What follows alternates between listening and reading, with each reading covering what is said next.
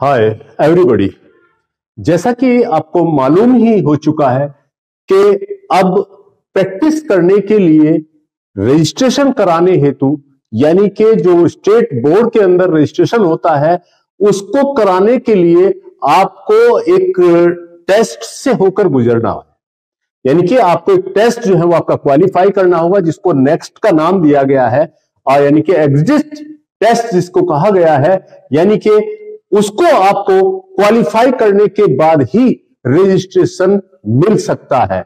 अगर आप उसको क्वालिफाई कर लेते हैं, यानी कि मिनिमम 50 परसेंट मार्क्स उसमें ज़रूर चाहिए पास होने के लिए, वो अगर आप ले आते हैं तो आपको जो है रजिस्ट्रेशन मिल जाएगा अदरवाइज़ जो है आप उसमें फेल माने जाएँगे। तो अब सवाल यहाँ पर यह पैदा होता है कि वो जो टेस्ट होने जा रहा है, या नेक्स्ट जब से लागू होगा तो उसके अंदर सिलेबस क्या होगा?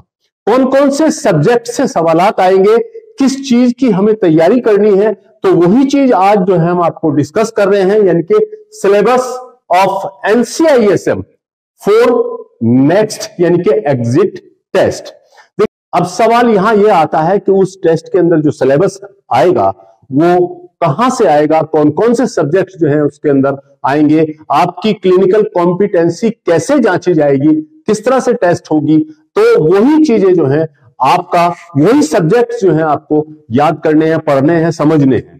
तो अब उसमें आपकी क्लिनिकल कॉम्पिटेंसी जांचने के लिए और इसी के साथ साथ जो है, आप मेडिकल एथिक्स को कितना समझते हैं और मेडिको लीगल केसेस के बारे में आप कितना जानते हैं तो उन्हीं सब चीज़ों को ऊपर जो है वो आपका इसमें क्वेश्चंस आएँगे ताकि जो है फ्यूचर में आप जो है ऐसा भी हो सकता है कि आपको पोस्टमार्टम करने के लिए अपॉइंट किया जाए या आपको इंजरी रिपोर्ट बनाने के लिए जो है वो आपका तैयार किया जाए।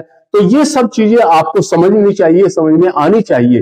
तो क्लिनिकल कॉम्पिटेंसी के लिए कौन से सब्जेक्ट है जिससे आप क्लिनिकल के तौर पर जो है वो आपको अपने आप को कॉम्पिटेंट कर सके? किन सब्जेक्ट की आपको तैयारी करनी है? तो और स्टेट्स में डॉक्टर्स के लिए जो लॉ बनाए गए हैं, मैं उनको पूरी तरह से मानूँगा। और इसी के साथ साथ जो है मैं अपने पेशेंट्स की जो पेशेंट्स मुझे अपनी बातें बता रहा है, उनको हमेशा राज में रखूँगा और उनका पूरी ईमानदारी के साथ इलाज करूँगा और अपने पेशेंट के साथ जो मैंने कमिटमेंट किया है, उसको पूरी तरह से मैं निभाऊँगा। और इसी के साथ साथ जो आपको तैयारी करनी है, किसकी करनी है, आपको कोर्ट्स एंड देयर प्रोसीडिंग यानी कि आप कोर्ट्स में, क्योंकि आगे आने वाले वक्त में आपको एक आयुष जो एक्सपर्ट के तौर पर कोर्ट में एविडेंस के तौर पर भी पूरी तरह से इजाज़त मिल रही है और आप जो है इसीलिए आपको मालूम होना चाहिए कोर्ट्स कितनी तरह की होती है, उनके जो है प्रोसीडिंग क्या है डाइंग डिक्लेरेशन किसको कहते हैं डाइंग डिपोजिशन किसको कहते हैं, ये सब चीज़ें आपको जानना ज़रूरी है।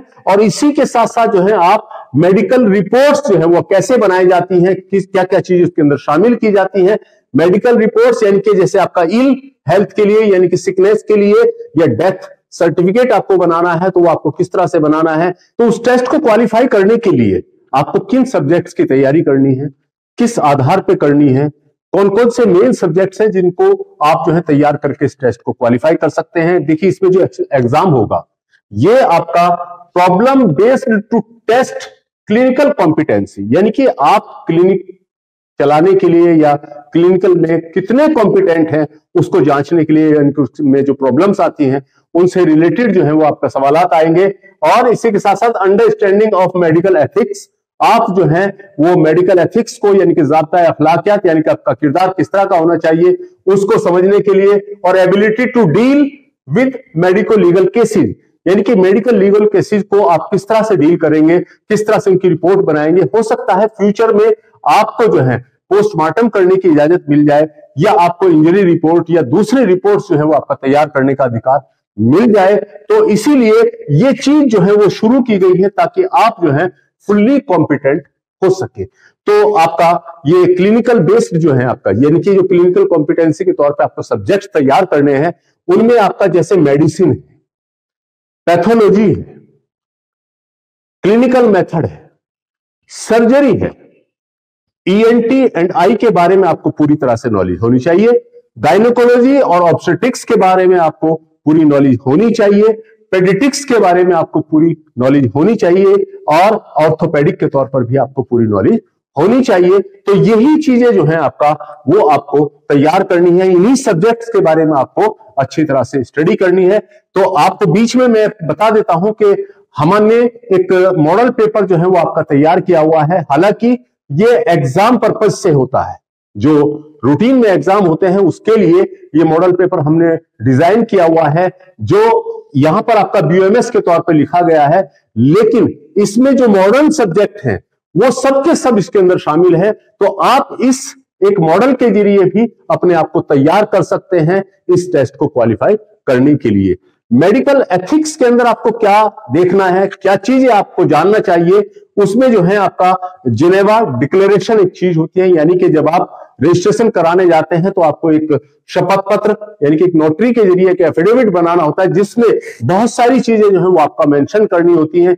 जैसे आपका जो है जेनेवा डिक्लेरेशन में आप ये डिक्लेयर करते हैं कि मैं जो भी काम करूँगा, पेशे के प्रति ईमानदार रहूँगा और अपने टीचर्स का, अपने कुलीग्स का सम्मान करूँगा, उनसे किसी तरह की कोई जो है आपका कमीशन वगैरह जो है वो नहीं लूँगा। तो यही सब चीज़ें जो है आपका मेडिकल एथिक्स के अंदर आती हैं। इसी तरह से आपको मेडिको लीगल केसेस के बारे में भी जानना बहुत ज़रूरी है। मेडिको लीगल रिपोर्ट्स जो है यानी कि मेडिकल रिपोर्ट जो है, जैसे आपका इंजरी रिपोर्ट होती है चोट लगने की, यानी कि किस तरह से कौन कौन सी जो है आपका, चोटें होती हैं कौन कौन सी इंजरीज होती है इंजरी कितनी तरह की होती है, वो किस तरह से अपेयर हो सकती हैं, कैसे बनाई जा सकती हैं, किस तरह से जो है वो नेचुरल लगेंगी या अननेचुरल होंगी या जो है किसी तरह से बनाएगी होंगी तो वो सभी चीज़ें जो है आप जो है उसके अंदर आपको आनी चाहिए, आपको समझना चाहिए और इसी के साथ साथ पोस्टमार्टम रिपोर्ट कैसे तैयार की जाती है, उसमें क्या क्या चीज़ें शामिल की जाती हैं पोस्टमार्टम कैसे होता है, ये भी सब चीज़ें आपको जानना ज़रूरी है।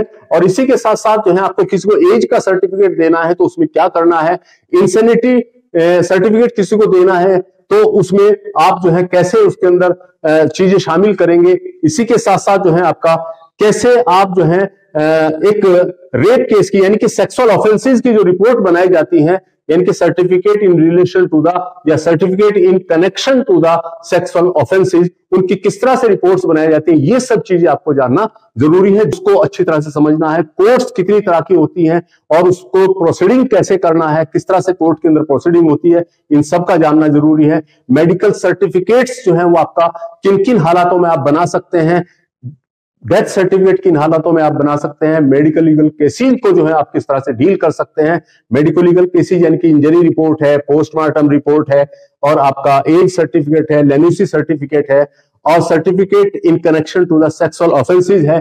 तो इन सब चीज़ों को जानना बहुत ज़रूरी है ताकि आप जो है इस टेस्ट को क्वालिफाई कर सके। तो मैंने जैसे कि अभी बताया कि मैंने जो है एक, ये मॉडल पेपर डिज़ाइन किया है हालाँकि ये बीएमएस के लिए मैंने डिज़ाइन किया लेकिन जो मॉडर्न सब्जेक्ट है, जो मॉडर्न सब्जेक्ट है, वो इंग्लिश में ही इसके अंदर शामिल किए गए हैं।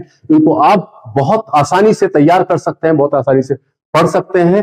तो इसलिए आपको जो है, तैयार रहना है एग्जिट टेस्ट के लिए, ताकि आप जो है रजिस्ट्रेशन आसानी से करा सके और अपनी प्रैक्टिस आसानी से कर सके। तो ये था हमारा आज का topic syllabus of NCISM for NEXT यानी कि एग्जिट टेस्ट फॉर रजिस्ट्रेशन। और इस बुक को हासिल करने के लिए हम आपको एक नंबर जो है वो दे रहे हैं।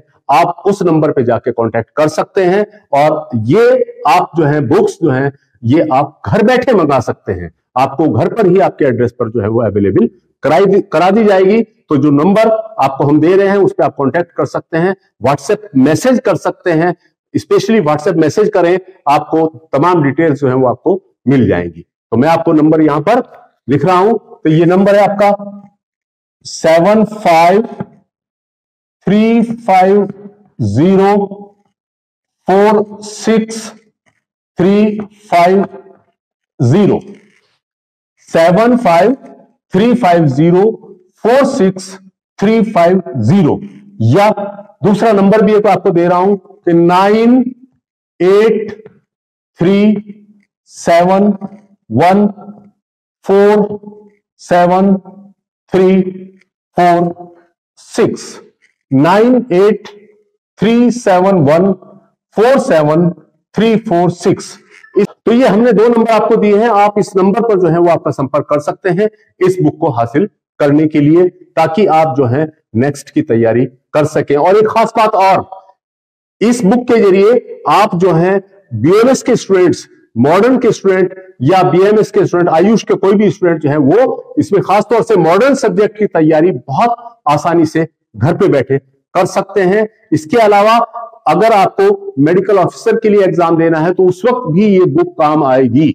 और इसके अलावा अगर आपको एमडी की तैयारी करनी है तो एमडी में एडमिशन के लिए, यानी कि पीजी के एडमिशन के लिए तैयारी करनी है तो भी आपको ये बुक जो है, वो आपका बहुत काम आएगी। आप इसको घर बैठे ऑर्डर कर सकते हैं और मंगा सकते हैं। तो इस तरह से तो इस तरह से उस टेस्ट को क्वालिफाई करने के लिए आपको क्लिनिकली कॉम्पिटेंट होना होगा, उन सब्जेक्ट्स में माहिर होना होगा। इसी के साथ साथ मेडिकल एथिक्स की कंप्लीट जानकारी आपको होनी चाहिए।